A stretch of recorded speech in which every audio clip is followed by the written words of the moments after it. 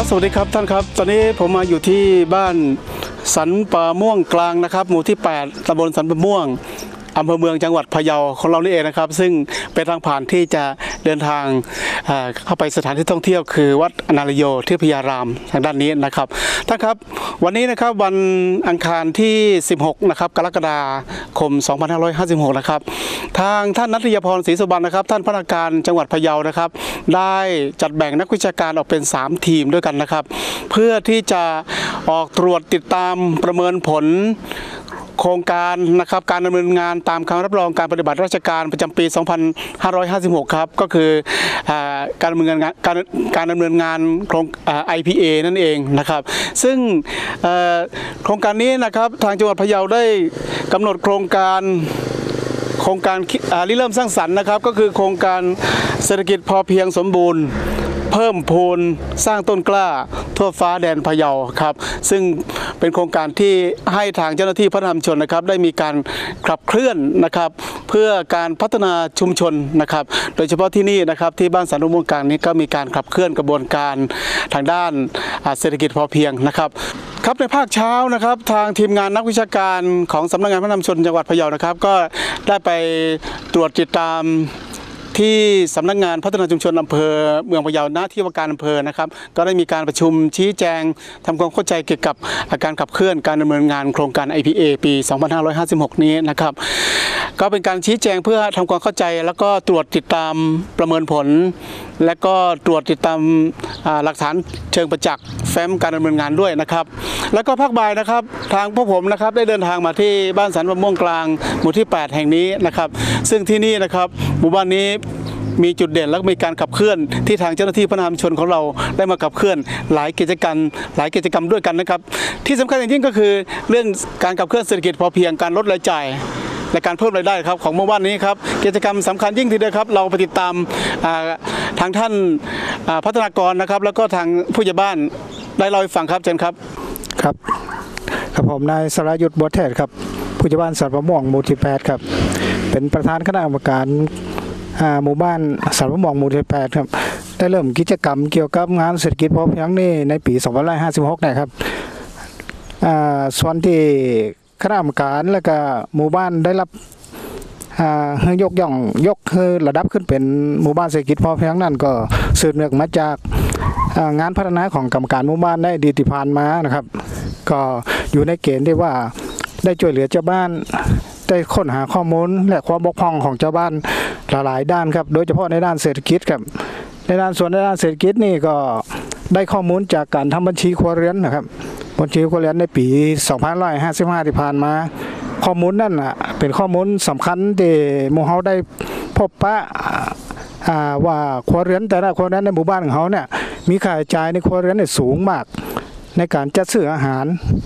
ซึ่งอาหารบางสิ่งบางอย่างนั้นเป็นอาหารที่สามารถผลิตเองได้ ทำได้ในครัวเรือนแต่ว่ากับว่าครัวเรือนนั่นมีค่าใช้จ่ายในส่วนนั้นน่ะสูงมาก จึงทำให้คณะกรรมการหมู่บ้าน จัดทำประชาคมหมู่บ้านขึ้นมาร่วมกับไอ้เจ้าที่ตั้งพัฒนาชุมชนอำเภอเมืองพะเยาเพื่อที่จะหาแนวทางลดปัญหาค่าใช้จ่ายในครัวเรือนแล้วก็เพิ่มรายได้ในครัวเรือนจึงทำให้เกิดโครงการนี้ขึ้นมาคือโครงการสวนครัวชุมชนครับสวนครัวชุมชนนี่ก็ ส่วนรายละเอียดของสวนครัวนี่ก็มีเป้าหมายว่าจะทำเป็นแปลงสาธิตเพื่อกระตุ้นให้พี่น้องเจ้าบ้านสัพพมองมูที่แปดเนี่ยมีความกระตือรือร้นที่จะพึ่งพาตัวเองมากขึ้นกว่าการที่จะไปพึ่งพาตลาดการจัดซื้ออาหารจากตลาดนะครับ แล้วก็หำส่วนหนึ่งก็คือต้องการที่จะแจกจ่าย กล้าพักตีเฮาเฮาเพาะในแปลงเนี่ยไปสู่ครัวเรือนของของครัวเรือนในหมู่บ้านสมองหมู่แปดเนี่ยทุกครัวเรือนที่ต้องการจะจะได้รับกล้าพัก ก็สามารถจะมารับเอาได้ที่นี่ซึ่งในวันที่มีการแจกพักก็จะมีคณะกรรมการมาอยู่ณสวนสวนแปลงสาธิตเนี่ยครับเพื่อรับกาพักไว้ยังโคเรียนเป้าหมายที่ต้องการจะจะนำไปปลูก แล้วก็ส่วนส่วนหนึ่งก็ เขาต้องการที่จะจะทำตรงเนี้ยให้เป็นส่วนครัวชุมชนด้วย ในกรณีที่ว่าพักส่วนครัวใดๆที่ว่ามามามามามีปลูกในครัวเรือนเนี่ยแต่มันมีที่นี่เนี่ยพี่น้องชาวบ้านก็สามารถที่จะมาเก็บใจตันนี้ได้โดยที่เขาก็จะมีกล่องอกระดาษหรือว่ากล่องนี่ไว้สำหรับ พี่น้องอันช่วยช่วยเหลือสำหรับในการที่จัดซื้อหาเมล็ดพังในครั้งต่อไป ยังมาเก็บพักไปสักมัดหนึ่ง มีตังติดมาสองบาทสามบาทกับจอมเข้ามาในกล่องนั่นนะครับเพื่อที่ว่าจะจะให้ใจสำหรับใจใจสำหรับในการจัดหาเมล็ดพันธุ์ในครั้งต่อไปนะครับครับในส่วนนี้ก็โอกาสต่อไปจะก็จะขยายไปในในครัวเรือนทุกครัวเรือนเป้าหมายนะครับ ทุกคนเรียนเป้าหมายต่อไปก็จะจะให้มีแปลงพักอย่างเงี้ยทั้งหมด ซึ่งครั้นี้นี่เรากำลังเริ่มเริ่มเริ่มต้นทำอยู่นะครับและได้ได้ผ่านเวทีประชาคมหมู่บ้านเป็นที่เรียบร้อยแล้วครับ และในส่วนอื่นๆก็ยังยังมีโครงการอื่นๆเนี่ยหลายโครงการนะครับในในงานเศรษฐกิจพอเพียงมาว่าจะเป็นการสร้างศูนย์อาหารชุมชน เกี่ยวกับไอ้ศูนย์เลี้ยงไก่พื้นเมืองชุมชนก็ดีนะครับ การอ่า ปัญหาปัญหาหนึ่งที่ใหญ่ๆที่สุดในอาชีพหลักของเขาขณะนี้ก็คือปัญหาการจัดหาเมล็ดพันธุ์ข้าวครับการจัดหาเมล็ดพันธุ์ข้าวนี่เขาซื้อว่าเขาสูญเสียค่าใช้จ่ายในตรงนี้นักทั้งๆที่เขาสามารถทำได้นั่นก็คือเป้าหมายหนึ่งนะในด้านเศรษฐกิจที่เขาจะต้องจะต้องทำในในเวลาและโอกาสต่อไปครับ ครับสำหรับกิจกรรมกิจกรรมที่ท่านเห็นอยู่เบื้องหลังผมนี่นะครับ เป็นกิจกรรมแปลงสาธิตการปลูกพืชผักสวนครัว แล้วก็เป็นศูนย์ เพาะพันธุ์ผักนะครับซึ่งเป็นกิจกรรมของหมู่บ้านนะครับออันเกิดจากการขับเคลื่อนกิจกรรมยุทธศาสตร์ของกรมการพัฒนาชุมชนคือ การจัดทำแผนชุมชนและการขับเคลื่อนแผนนะครับ ซึ่งหลังจากที่ดำเนินกิจกรรมในเรื่องของการจัดทำแผนชุมชนนะครับพบว่าปัญหาของหมู่บ้านที่ที่เกิดขึ้นนะครับ ที่พบเห็นก็คือในเรื่องของอรายจ่ายที่ไม่จำเป็นนะครับ เป็นรายจ่ายเกี่ยวกับการที่จะต้องใช้เงินไปซื้อวัสดุประกอบอาหารเป็นพวกพืชผักต่างๆนะครับ ซึ่ง หมู่บ้านสามารถในครัวเรือนสามารถที่จะทำเองได้นะครับ แต่ว่าไม่ได้ทำก็ทำให้จะต้องใช้เงินไปจับจ่ายซื้อหานะครับ ดังนั้นหลังจากที่หมู่บ้านได้จัดทำแผนนะครับได้ค้นหาปัญหาแล้ว ก็เลยอ่าดำเนินกิจกรรมตัวนี้ขึ้นมาเพื่อที่จะให้เป็นกิจกรรม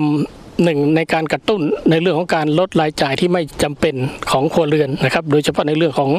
การที่จะต้องใช้เงินไปซื้อผักซื้อปลาซื้ออะไรต่างๆ มาประกอบอาหารนะครับซึ่งกิจกรรมนี้จะช่วยกระตุ้นให้ครัวเรือนในหมู่บ้านนะครับ ได้มีการปลูกพืชผักสวนครัวกัน เพื่อที่จะลดรายจ่ายอัดแล้วก็มีกิจกรรมอื่นขึ้นมาเสริมในเรื่องของการ เลี้ยงสัตว์เพื่อการบริโภคในครัวเรือนนะครับ ซึ่งก็จะทำให้รายจ่ายที่ไม่จำเป็นอของครัวเรือนในหมู่บ้านเนได้ลดหายไปครับ ครับสำหรับวันศูนย์เลี้ยงไก่พื้นเมืองชุมชนเนี่ยครับของสัตว์ประมงหมู่แปดนี่เป้าหมายก็คือว่าเขาเลี้ยงไก่เพื่อที่ว่าจะผลิตเอาไข่นะครับเนื่องจากกันจากกันข้อมูลชุมชนที่เขาได้มานั่น คนเรือนแต่ละคนเรือนเนี่ยได้ซื้อไข่ไก่เนี่ยในแต่ละเดือนเนี่ยจำนวนหนักพอสมควรกับสูญเสียค่าเสียการจ่ายตั้นนี่นะครับ และก็ไข่ในท้องตลาดเนี่ยราคาค่อนข้างจะสูงขึ้นติ๊กๆนะครับแล้วคณะกรรมการแล้วก็พี่น้องเจ้าบ้านก็เลยมีแนวคิดร่วมกันว่าเขาน่าจะมีศูนย์เลี้ยงไก่ชุมชนของตัวเก่า โดยที่ว่ามีเป้าหมายเพื่อจะผลิตเอาไข่นะครับ เอาไข่เนี่ยมาให้อ่ากับสมาชิกของแต่ละแต่ละศูนย์เลี้ยงเนี่ย ไว้บริโภคศูนย์เลี้ยงไก่นี่หนึ่งศูนย์นี่จะจะครอบคลุมช่วยเหลือครัวเรือนได้ประมาณห้าครัวเรือนฉะนั้นศูนย์เลี้ยงไก่พื้นเมืองชุมชนในสามหม่องหมู่แปดนี่ทั้งหมดจะมีอยู่ประมาณสิบสี่สิบห้าศูนย์ครับสิบสี่สิบห้าจุดแล้วก็แต่ละจุดนั่นก็จะเก็บไข่เวียนเวียนกันไปอย่างอย่างนั้นครับ สมมติอย่างเราเฮาเก็บไข่วันนี้ได้ไข่มาอย่างได้ไข่มาวันนี้วันนี้ผมเก็บได้ห้าฟองนะครับ ห้าฟองเนี่ยก็จะฮื้อสำหรับครัวเรือนที่หนึ่งวันผูกเก็บมาได้ผมก็ฮื้อครัวเรือนที่สองได้ฮื้อเก็บมาได้ก็ฮื้อครัวเรือนสามบนกันไปจะยากครับสำหรับไข่นะครับ แต่ละศูนย์จะก็จะจะแยกเอีย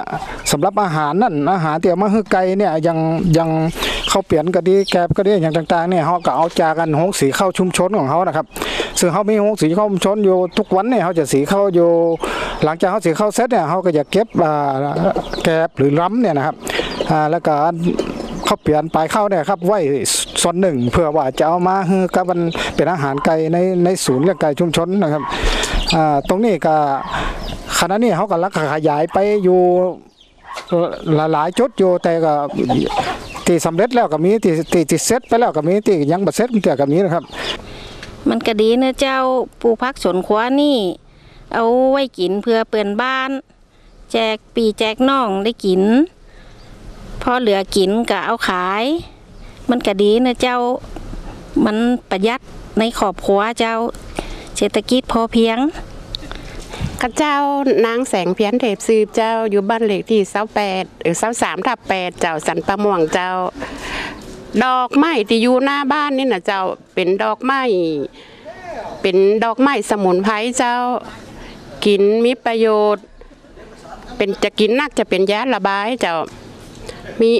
ทำได้หลายอย่างเจ้า พัดน้ำมันหอย พัดหมูซับ แกงส้ม ต้มจืด ใส่ก๋วยเตี๋ยวได้เจ้า มีจือว่าดอกไม้ชมจันทร์เจ้า มันจะบ้านช่วงมื่อคืนเจ้าตอนวันกลางวันมันจะเป็นตุ้มเยี่ยเจ้าเป็นไงบ้างครับท่านครับ ก็ดูกิจกรรมของหมู่บ้านนี้น่าสนใจทีเดียวนะครับ โดยเฉพาะการขับเคลื่อนเกี่ยวกับการลดรายจ่ายในครอบครัว การปลูกพืชผักสวนครัวบริเวณรั้วบ้านบริเวณในบริเวณบ้านนะครับ แล้วก็เหลือก็จำหน่ายเป็นรายได้นะครับ ที่สำคัญอย่างยิ่งก็คือพี่น้องที่นี่สุขภาพแข็งแรงสมบูรณ์นะครับ เนื่องจากว่าบริโภคพืชผักสวนครัวที่